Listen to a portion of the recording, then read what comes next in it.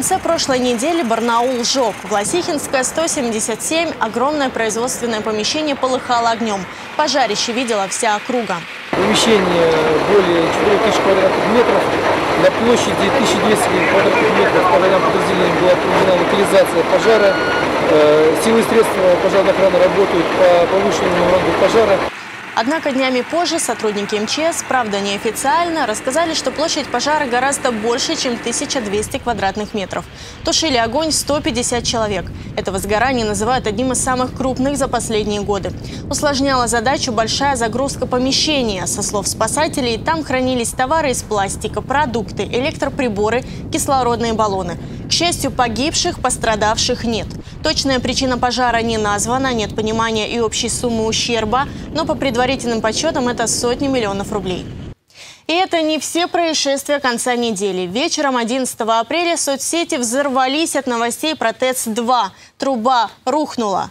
У нас на ТЭЦе труба только сейчас влупила. Я думаю, что за грохот? Железобетонная труба почти складывается. Позже скажут от возраста. Ее возводили в 59 году. Без жертвы тут, а вот потенциально пострадавших 90 тысяч. Именно столько потребителей подключены к ТЭЦ-2. Дело в том, что обломки трубы повреждают систему подачи топлива. В ночь потребителей экстренно перебрасывают на районную водогрейную котельную, из-за чего утром понедельника некоторые могли заметить скорее теплую, чем горячую воду.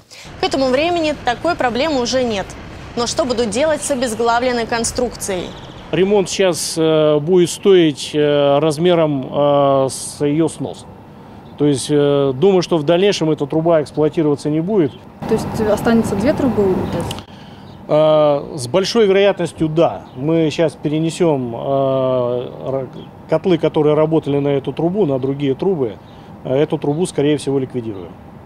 После инцидента представители компании подчеркивали, что на ремонте не экономили. Однако, как выяснили следователи, ремонт дымохода должен был пройти еще в прошлом году. В 2020-м обследовали трубы и газоход. Руководство указывали на недостаточную работоспособность трубы и рекомендовали эксплуатировать ее после ремонта, но его не последовало.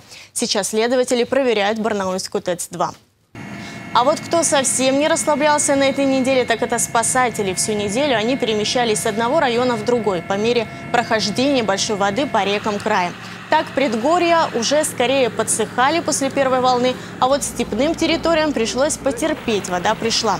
К счастью, подтопленных домов, по официальным данным, было всего 30. По мере необходимости оказывалась помощь, организовывалась перевозка через потопленные талой водой места, прочистка стоков, отсыпка низменностей. С 8 по 10 апреля специалистами-взрывотехниками на вертолете Ми-8 были проведены взрывные работы на реке Чарыш. Всего было совершено 35 подрывов. Подобные профилактические работы проведены и на реке Бием. С 12 апреля в Краснощековском, Салтонском, Петропавловском районах организована работа спасателей аэромобильной группировки Сибирского спасательного центра. Сегодня спасатели убывают в пункт постоянной дислокации. И еще один пожар, который едва не привел к трагическим последствиям. Что-то у нас в последнее время пожары, пожары. 13.10 э, на пульт диспетчера ЦППС города Барнаула поступило сообщение о загорании на АЗС э, по адресу э, село Лебяжье, улица Садовая, 8. Значит, по прибытию на место пожара начальником караула был повышен ранг пожара до номер 2. Горела группа резервуаров из пяти штук по 25 метров кубических. Спасатели сработали оперативно. Благодаря этому огонь не перешел еще на 7 резервуаров с топливом. Тушить пожарным пришлось и топливозаправщик. Его водитель пострадал, мужчину госпитализировали в ожоговый центр. Площадь возгорания, по сообщению МЧС, составила около 100 квадратных метров.